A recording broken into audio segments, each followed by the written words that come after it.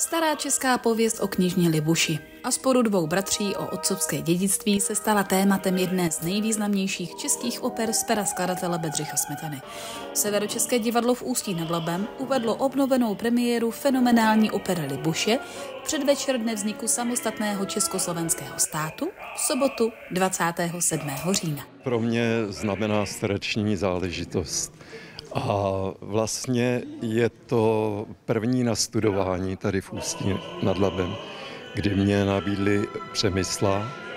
Předtím jsem zpíval ve staré inscenaci Radovana a byla to poslední smetanovská role, která mě ještě chyběla do toho kompletního repertoáru, takže je to úžasná nostalgie a ta opera je fantastická, je to taková sváteční příležitost pro mě. Jednak výprava, kostýmy, ta hudba je překrásná a vlastně tento rok, rok české hudby, jak jinak oslavit, než naší jednou z nejkrásnějších vlastně oper, která je, a je to Libuše.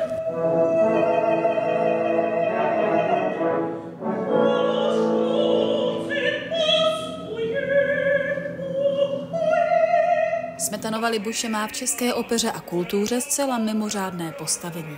Je přímo spojená s úsilím našich předků o obnovení české státnosti a národní nezávislosti a byla napsána k otevření Národního divadla.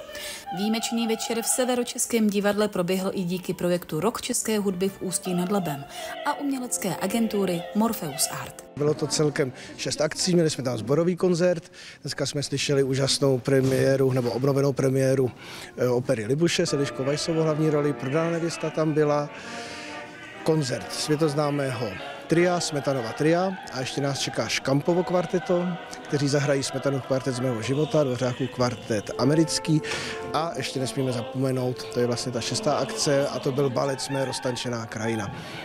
Vlastně my jsme eh, tenhle projekt připravili ve spolupráci se Severočeským divadlem, který je partnerem tohoto celého projektu a financování bylo z Ministerstva kultury. Více o programu i o divadle najdete na www.operabalet.cz. Pro regionální televizi Ústecko Renáta Filipy.